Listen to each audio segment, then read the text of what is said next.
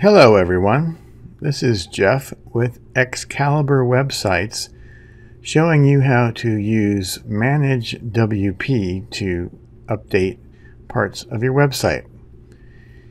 I am logged into my Manage WP dashboard. I have selected a website called acceleratedmillionaire.com and I see as far as updates on the screen Easy Digital Downloads is an update or can be updated. So can WooCommerce from version 2.68 to 2.69. I could have selected the select all button. However, I selected each plugin to be updated individually. And now I will click the update all button.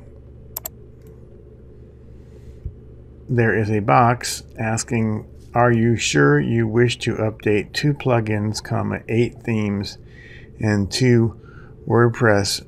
No, I'm going to cancel. I think I selected the wrong button.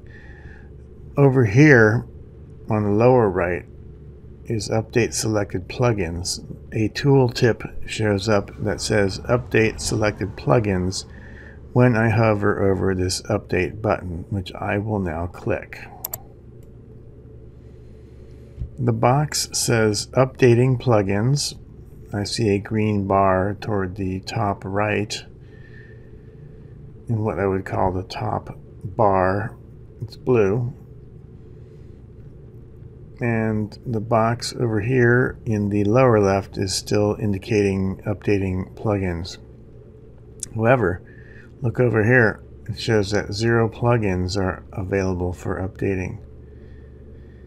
Looking again to the upper right, I can see that the green bar is full and it has in fact updated that plugin. So that is how you use Manage WP to make quick updates to your website and improve your search engine optimization, your SEO. Any questions, feel free to call us at www.excaliburwebsites.com. Thank you.